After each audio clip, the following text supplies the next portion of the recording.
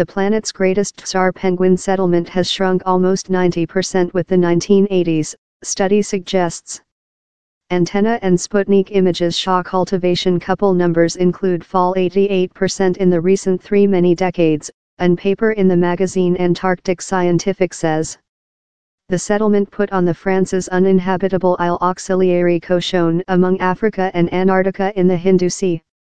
Researchers say down there is no precise cause for the decrease. Other, just to the tsar penguin in amount, the tsar penguin breeds on the more than moderate islands polar of the Antarctic shore.